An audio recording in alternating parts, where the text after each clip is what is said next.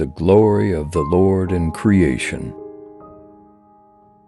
To the chief musician on the instrument of Gath, a psalm of David. The Book of Psalms, Psalm chapter 8. O Lord, our Lord, how excellent is your name in all the earth, who have set your glory above the heavens.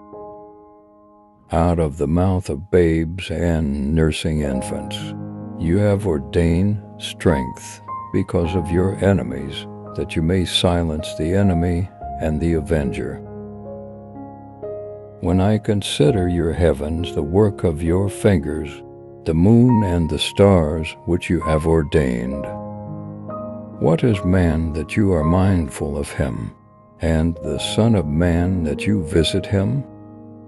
For you have made him a little lower than the angels, and you have crowned him with glory and honor. You have made him to have dominion over the works of your hands. You have put all things under his feet all sheep and ox and even the beasts of the field, the birds of the air and the fish of the sea that pass through the paths of the seas. O Lord, our Lord, how excellent is your name in all the earth.